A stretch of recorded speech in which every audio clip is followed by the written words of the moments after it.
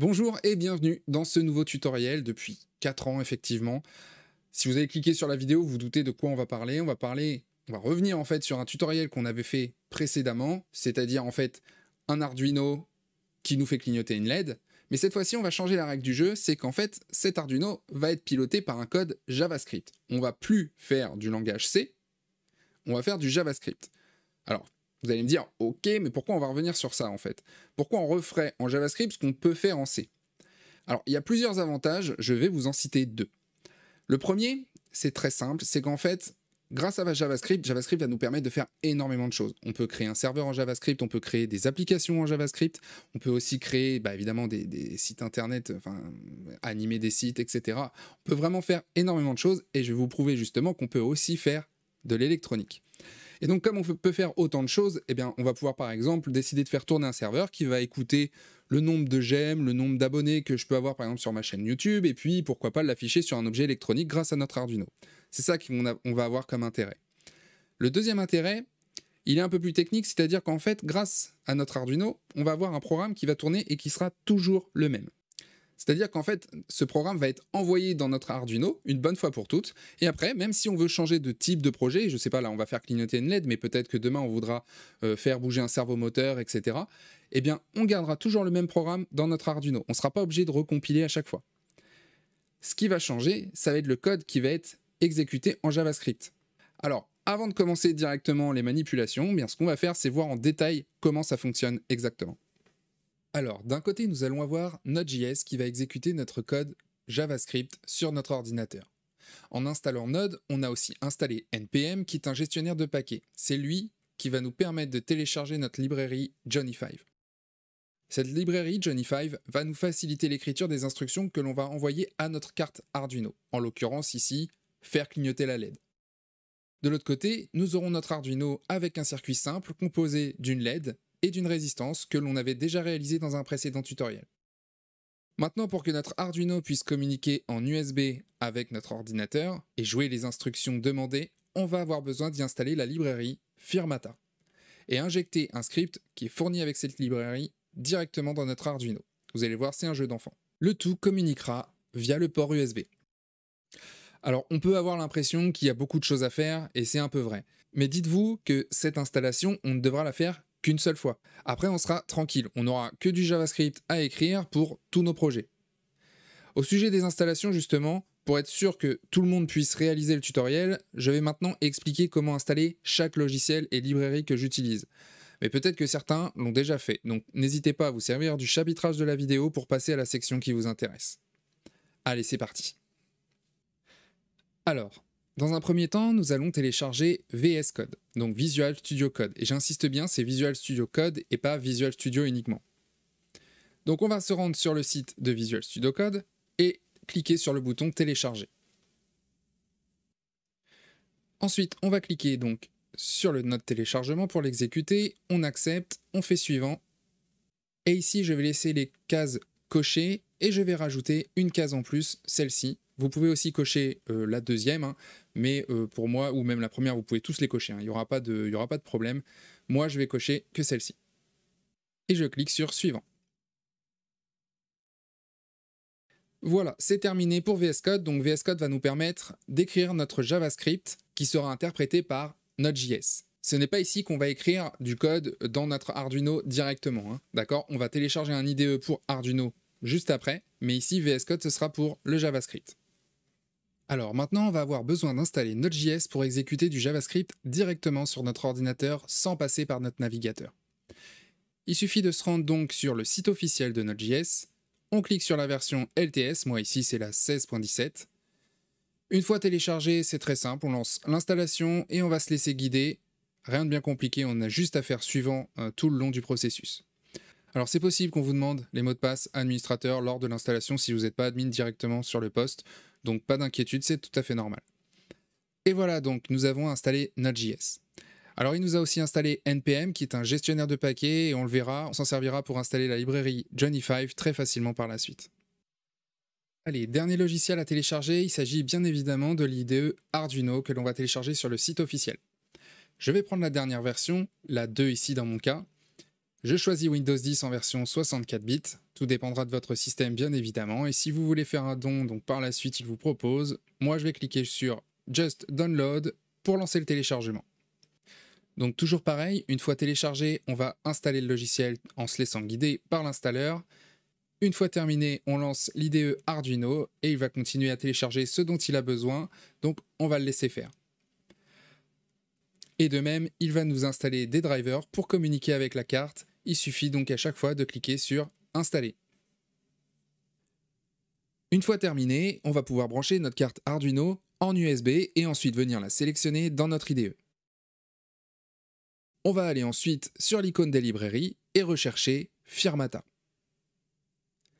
Celle qui va nous intéresser, c'est celle juste ici, Firmata by Firmata Developers. On peut donc cliquer sur Installer. Une fois l'installation terminée, je vais récupérer un des codes d'exemple de Firmata. Pour cela, je vais dans Fichier, Exemple, Firmata. Et je choisis Standard Firmata Plus. Ça va m'ouvrir une nouvelle fenêtre avec le code en question. Ce code, en fait, va tout faire à notre place, c'est-à-dire qu'il est là pour jouer les instructions qui lui sont envoyées via notre port USB. Je n'ai plus qu'à uploader ce code dans ma carte Arduino. Quand c'est uploadé, vous aurez ce petit message down et c'est bon. Nous n'avons plus qu'à écrire les instructions maintenant en JavaScript. Alors malheureusement, pour éviter tout problème par la suite, on va devoir encore faire une petite manipulation. Je voulais faire ce tuto sur Windows car je pense que vous êtes plus nombreux sur ce système. Malheureusement, contrairement à un Linux ou un Raspbian ou même peut-être un Mac, on n'a pas Python d'installer par défaut. Ou alors c'est une version euh, non compatible. Et dans Johnny 5, il va y avoir besoin de communiquer avec la carte grâce à des dépendances notamment qui ont besoin de Python pour s'installer. Par contre, vous pourrez toujours enlever Python par la suite. Une fois que le projet sera paramétré, ça marchera toujours, mais je vous le déconseille puisque c'est toujours pratique de pouvoir exécuter du Python. Bref, cette étape est très rapide. On va sur le site de python.org. Dans la partie download, on télécharge et une fois téléchargé, il n'y a plus qu'à installer et c'est bon. On peut enfin faire du JavaScript. On va donc maintenant lancer VS Code et ouvrir un nouveau dossier. Donc je vais faire Open Folder ici et je vais aller dans mon dossier tuts que j'avais préparé. Je vais créer un nouveau dossier en faisant un clic droit et je vais l'appeler LED Johnny 5, donc je vais mettre JF par exemple. Et c'est ce dossier que je vais ouvrir, donc je sélectionne le dossier. Donc là, il n'y a pas de problème, c'est OK, je fais oui et non. Alors maintenant, la première chose que je vais faire, c'est faire un clic droit ici pour ouvrir un terminal. Donc là, je vois ici qui me dit que je suis bien au bon endroit, hein. donc je suis dans tuts et LED JF euh, qui était le nom de mon projet. Je vais donc maintenant faire npm install Johnny 5. Donc comme je vous l'avais dit, on avait besoin d'NPM pour installer Johnny 5 directement dans notre dossier. On lance l'installation, ça va télécharger. Et voilà. Donc là, j'ai eu des fichiers qui ont été créés justement par rapport à cette installation. Donc je vais pouvoir créer mon propre fichier maintenant pour exécuter mon code JavaScript. Donc je crée un fichier index.js. Donc je vais pouvoir fermer le terminal en attendant je vais fermer aussi le Get Started et je vais pouvoir commencer à écrire mon code. Alors, on va se rendre sur le site johnny5.io et on va pouvoir regarder un petit peu comment ça fonctionne. Ici, ce site va me permettre d'avoir des exemples, donc je vais cliquer sur exemple et vous voyez que le premier exemple que j'ai ici va me faire clignoter une LED. Donc cet exemple-là, je le récupère, je l'ai également ici dans LED Blink par exemple. Et donc je peux récupérer cette partie de code et la mettre dans mon JavaScript. Donc je vais faire clic droit, copier. Vous voyez d'ailleurs hein, sur la gauche qu'on a énormément de choses. Hein. On pourrait commander euh, des servomoteurs, des, se servir de GPS, des moteurs simplement, etc. etc. Donc une fois qu'on a téléchargé tout ce qu'on vient de télécharger finalement et qu'on a paramétré notre Arduino, on ne touchera plus à notre Arduino. Maintenant, tout se passera dans le JavaScript. C'est ça qui est intéressant. Donc je copie et je viens coller juste ici mon code. Une fois mon fichier sauvegardé, donc c'est bon, j'aurai plus qu'à l'exécuter. Alors, on va expliquer maintenant comment fonctionne un peu ce programme. Ici, je récupère juste board et LED qui sont dans ma librairie Johnny 5. Grâce à ça, je vais pouvoir créer un nouvel objet board juste ici. Et ensuite, bien, je vais créer un événement.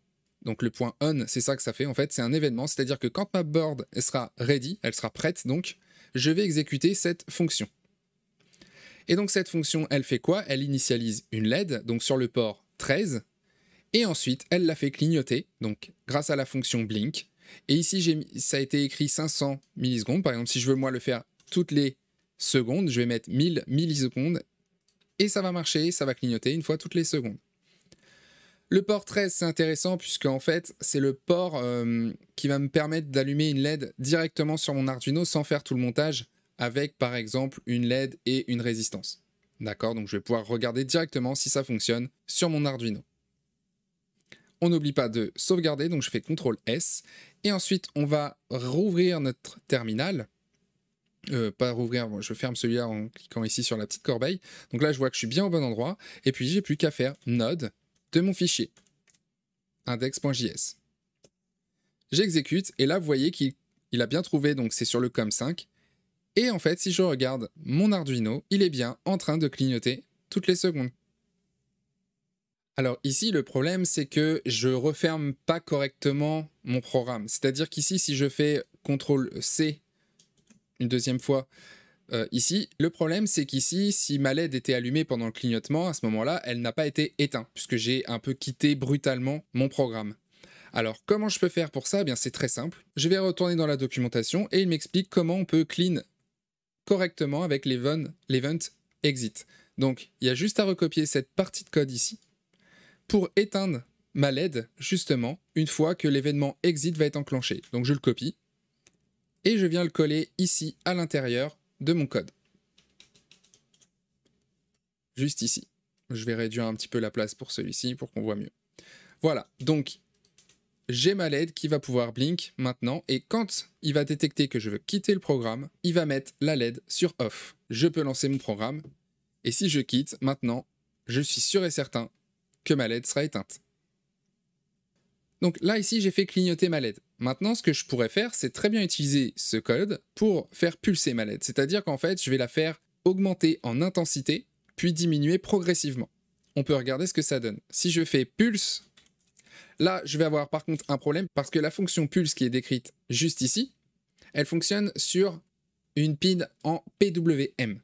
Et donc ma, pin 13 ne l'est pas par défaut, donc je ne pourrais pas faire clignoter cette petite LED sur mon Arduino.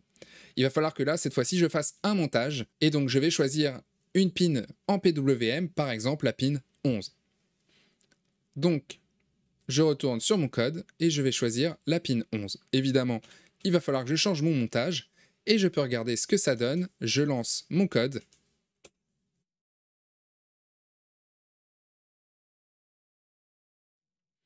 Voilà, donc ça marche correctement. Et voilà, cette vidéo est terminée. J'espère qu'elle vous a plu. N'hésitez pas à me le dire dans les commentaires. Et soyons fous, pourquoi pas, un petit like, ça me ferait plaisir, évidemment. Ça m'encourage à continuer et me dire que finalement ça vous plaît.